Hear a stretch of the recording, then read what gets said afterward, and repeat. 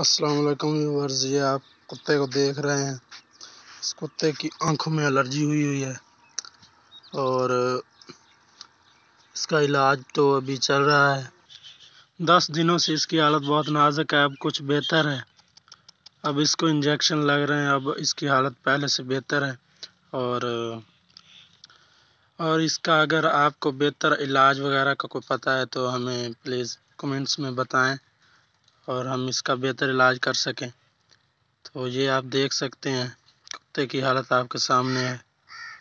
तो ये देखें।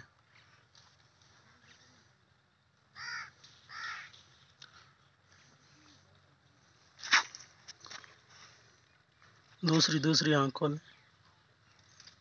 इस आँख में थोड़ा सा कम है और दूसरी आँख में ज़्यादा एलर्जी है।